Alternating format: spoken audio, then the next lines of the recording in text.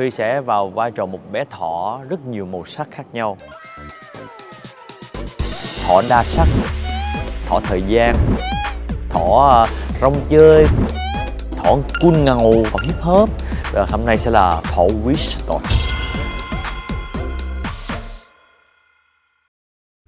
Tôi là Ngô Kiến Huy và tôi sẽ là MC của chương trình The Mask Singer Việt Nam ca sĩ mặt nạ.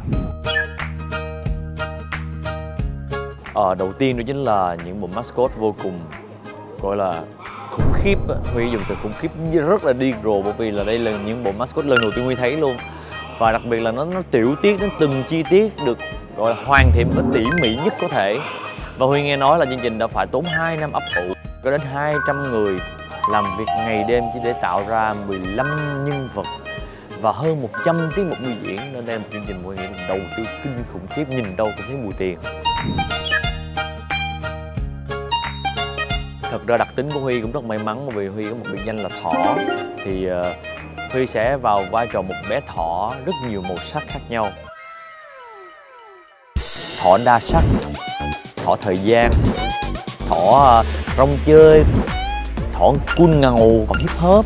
Và hôm nay sẽ là thỏ wish thought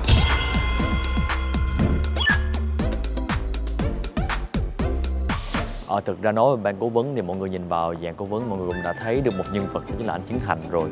Bởi vì là anh Chiến Thành là anh tiếp xúc được cả trăm trăm ngàn người nghệ sĩ. Nếu mà anh Thành là một đặc điểm là bất kỳ đâu mà yên ắng anh sẽ không chịu được. Anh cần âm nhạc.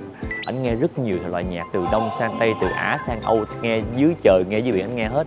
Nên tôi nghĩ là cái người mà sản xuất sẽ đáng cao nhất là anh Chiến Thành nhưng mà bên cạnh đó thì cũng có hai ẩn số là tóc tiên và Wowy Wowy thì huy uh, lần đầu tiên tiếp xúc với Wowy ở một cái uh, chương trình thực tế thôi.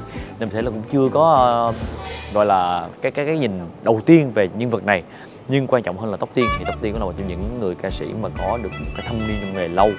Và đặc biệt là cũng rất là hay nghe nhạc nước ngoài nữa tôi nghĩ là cũng sẽ một lợi thế với tóc tiên.